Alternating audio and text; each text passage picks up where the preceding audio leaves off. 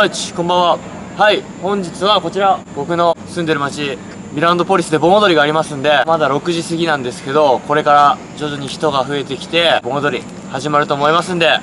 約1年ぶりのブラジルの盆踊り楽しんでいこうと思います。それでは盆踊り行ってきましょう。